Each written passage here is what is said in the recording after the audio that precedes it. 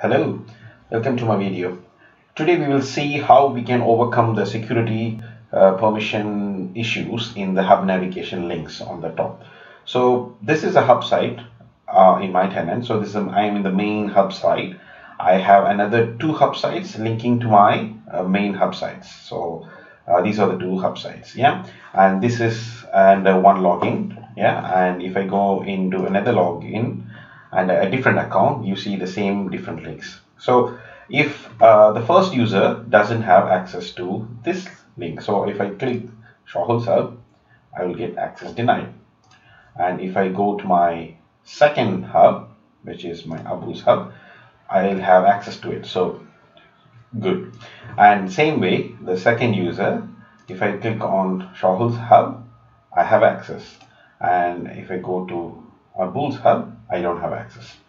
Um, so this is uh, what they get. If they click, if they don't have access, they simply go going to get an access denied error message, which is not very nice uh, for an end user to see uh, an access denied. The best way to do is to just simply hide the uh, the links to it. So uh, recently, Microsoft released something called target audience, so we can use that and uh, uh, you know uh, try to hide the links for a certain users only.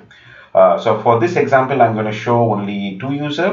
Um, you can uh, you know change for your own scenario if you want to hide based on certain uh, AD groups or mail enabled groups It's fine it still works.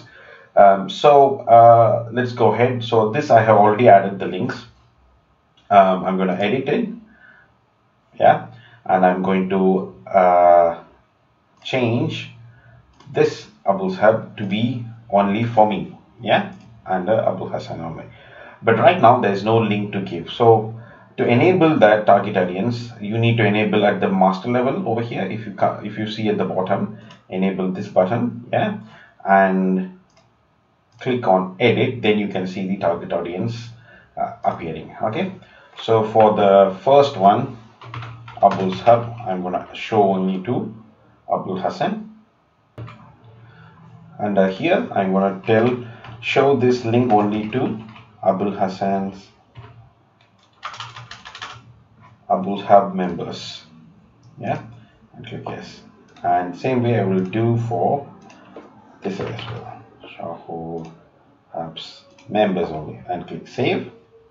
And once you hit save you can see already the link has been disappeared for the other hub. I can only see what I am supposed to show. So uh, the security trim right now has been uh, limited only for groups, mail enabled groups and AD groups, preferably Office 365 groups.